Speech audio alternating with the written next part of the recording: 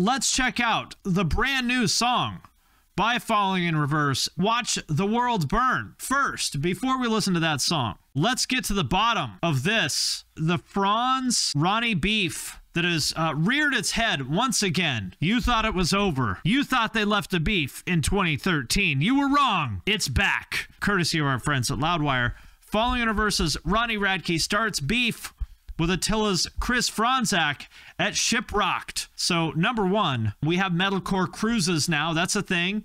So, if you want to go see Falling in Reverse, Attila, and Varials, and a bunch of other bands on a ship, now you can do that. Um, so, there is that. That's right. This is the 10 year beef anniversary. You know how bands will do a thing where they play the whole album, you know, from start to finish from 10 or 20 years ago. Well, I guess we're doing that with Beef now. So here's what happened. But first, before we go any further, I would like to thank Neural DSP for sponsoring today's video. If you are not familiar with them, they make some of the heaviest plugins that you can buy. I have used almost all of them, and I can tell you from personal experience, they are absolutely incredible. They've worked with Nolly from Periphery, Tim Henson from Polyphia, Gojira, and tons of other artists to bring you their signature tones. I've been using Amp Sims for over a decade now, and these are by far the best that have ever been made. My personal favorite is the Archetype Gojira plugin, but honestly, they're all great. And they make amazing plugins for both bassists and guitarists. And what's amazing is that for less than the cost of one high-end amp head, you can have a whole library of tones and effects. And and if you also want world-class synth sounds, well, they've got you covered. Just check out Archetype Rabea. So if you want to check out Neural DSP's plugins, and again, I highly, highly suggest that you do, they are great. Just hit the link in the description of this video and use the code PUNKROCK for 30% off any of Neural DSP's plugins. That is a great deal. Once again, that is coupon code PUNKROCK for 30% off any of their plugins at the link in the description of this video. So here here's what happened. Ronnie apparently called out Fronz on stage. You fucking poser! So this grown man is still butthurt about something that I said in a song 10 years called ago? Called Fronz a poser. And the best part is? Because, uh, I guess because Fronz had that song The Call Out like 10 years ago. Even Ronnie talks shit on my Instagram. Give me your address so I can hit you with a mic stand from 2012's The Call Out. So there's there's that apparently, and then there's more the TikToks I just woke up the next morning and someone came up to me and said, Ronnie Radke called you out on stage or something like that and was looking for you on side stage. I said I, I wasn't even fucking there. I was asleep. A lot of people ask me what I thought about this, and uh, and here's what I think. I think, mom and dad, stop fighting! Stop, stop fighting, guys! I just want to be normal. Oh, I just stop fighting. I just want everything to be normal again. That's what I think about it. That's what I think. Come on, Ronnie, Fronz. Let's just agree to disagree. I don't know who called who a poser. I don't know. I don't know what it's all about. Let's just put this behind us. That's what I think about the beef. Come on, guys. Mom and dad, stop fighting. That's what I think. More importantly, I want to listen to this new song. So let's check it out. The thing that I want to know, I haven't listened to this yet, is what is this song going to be?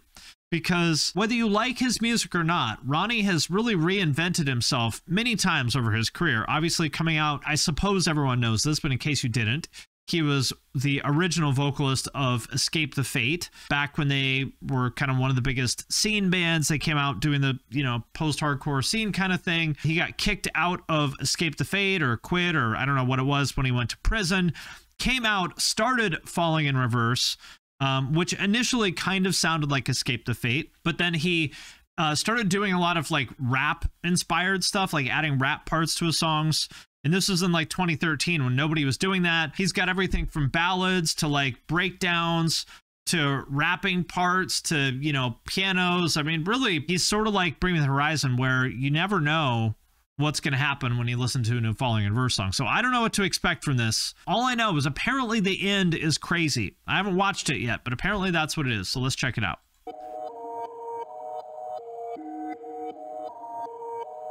Okay, again with the crazy effects budget. Shout out to the people at Epitaph for footing the bill. I mean, is there anybody in the scene with better videos than Ronnie?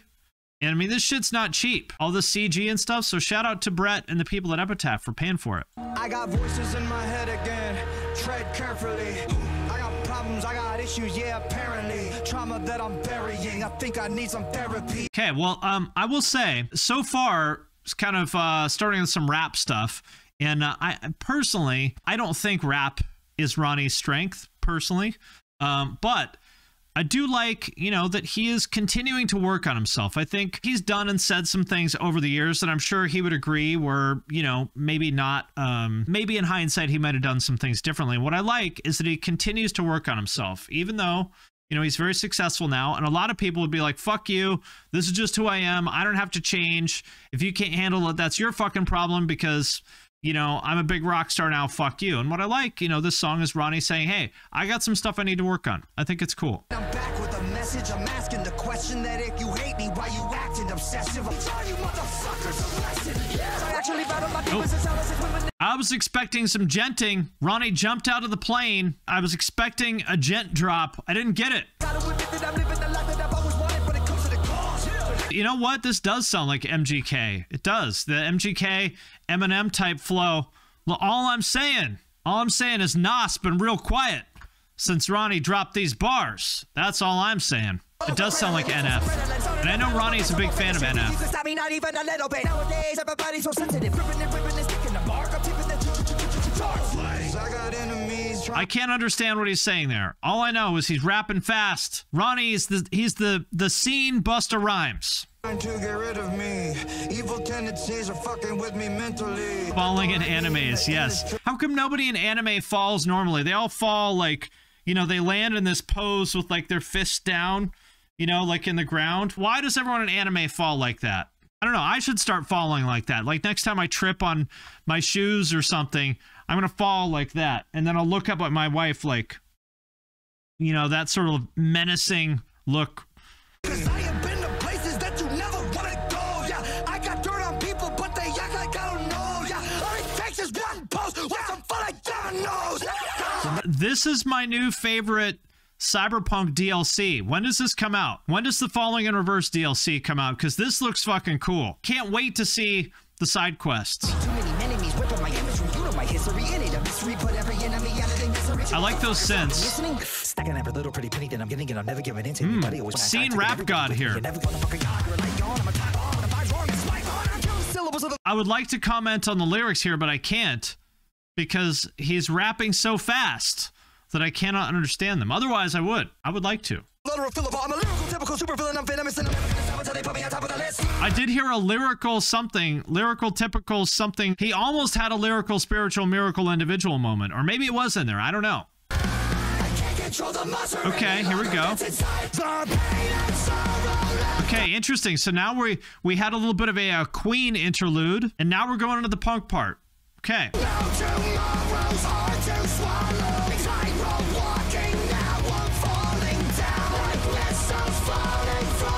Sebastian Bach. Okay, I think that's who that's supposed to be, right? This guy is not nearly gorgeous enough to be Sebastian Bach, but I get it. How do you cast? Do you guys know how fucking pretty Sebastian Bach was back in the day? Back in the 80s? I mean, look at this motherfucker. He is one hot mama. That's right. I'd hit it. I would. A country MILF. That's right.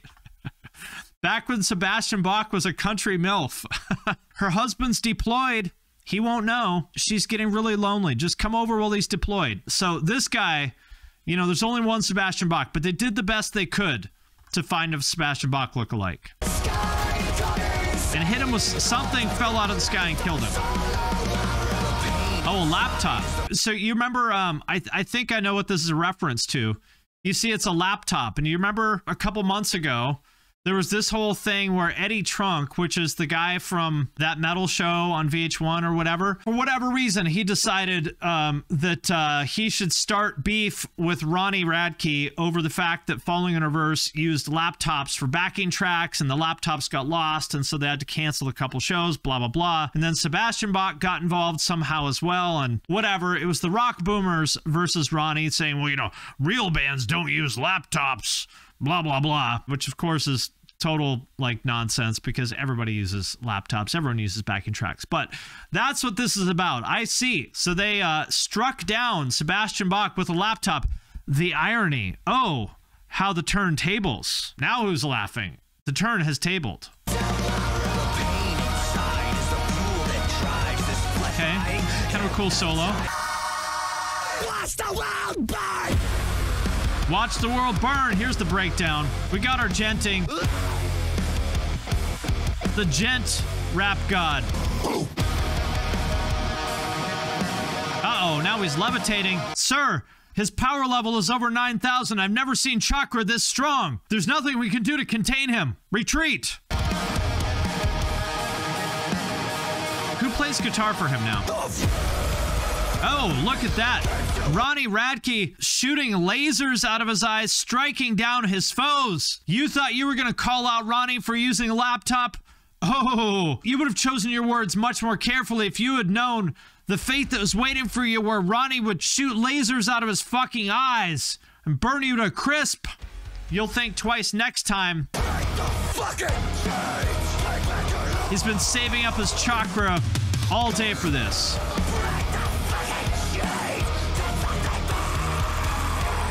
Literally watching the world burn. There we have it. Watch the world burn by Falling in Reverse. You know what I appreciate about this, again, the rap stuff is is in my opinion not his strength. I don't prefer the rap stuff, but objectively, you know, I think it's really cool that this is basically like what three or four genres in one. There's like the punk part, there's the rap part, there's the djent part, there's the sort of symphonic stuff. And uh, I think it's cool that, you know, he's always pushing the boundaries.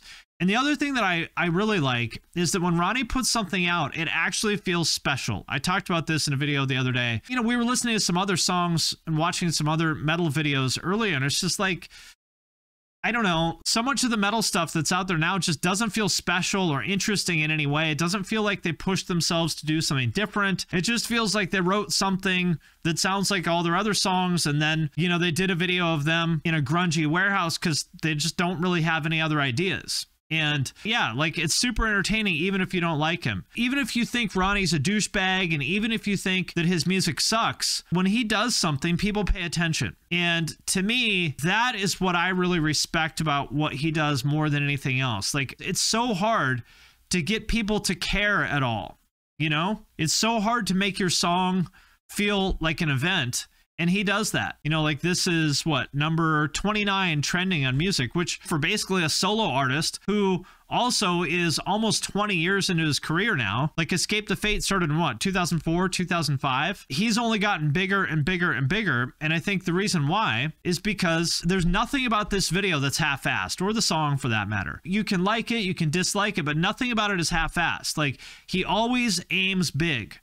You know, he takes on a lot musically he takes on a lot creatively in the videos as well. You know i really i really respect that. He puts in the effort exactly. It is fully asked fully asked there's nothing half-assed. This is fully 100% fully asked uh, so there we have it. That is Watch the World Burn by Falling in Reverse. And all I have to say is, you know, Ronnie, Fronz, please just stop fighting. I want, I just want things to go back to normal. I just want it to go back to normal. Come on, guys, please, please.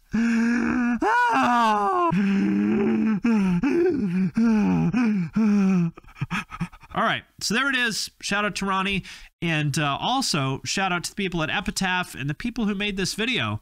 Shit is very well done. Shout out to all of them. Just stop fighting, guys. Dad can't handle it.